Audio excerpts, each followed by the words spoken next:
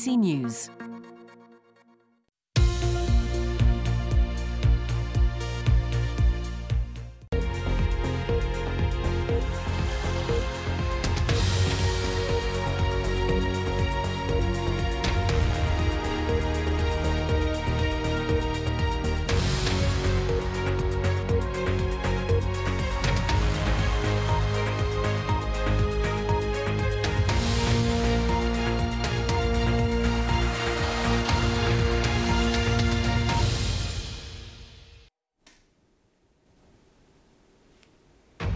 It's 6 pm in London. This is The World Today with Lewis Vaughan Jones.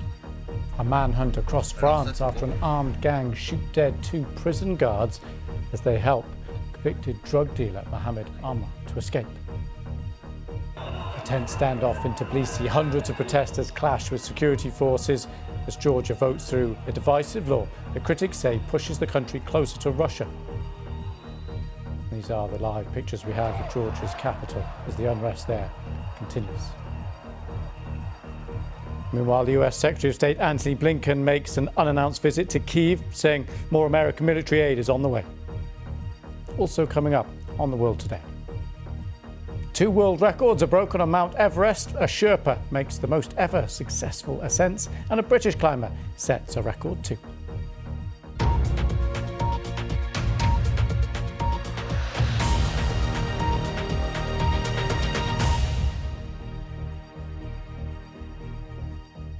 Welcome to the world today, an hour of international news from the BBC. We're going to start in France, and that prisoner escape, that prisoner is on the run right now. Two prison officers have been killed, three others injured. Take a look at the pictures. There's an ambush uh, on a prison van. These are social media pictures. You can see just through the glass there uh, the what seems to be the gunman. Now, the prisoner who was freed in this break was a notorious criminal, Mohammed Amra. Hundreds of police are now involved in the search for him and his assailants. Let's just take a look at exactly where this happened. This was uh, in Normandy, motorway a toll booth. Prisoner was being moved uh, between Rouen and Evreux after earlier appearing in court. Here's Andrew Harding. A brazen ambush on a French motorway.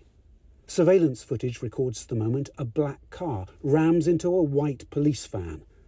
At least two masked and heavily armed men then begin firing at the van. The gunmen then somehow set fire to their own vehicle next to the toll booth. More footage, filmed by someone on a passing coach, then shows one of the gunmen moving slowly, almost nonchalantly forward.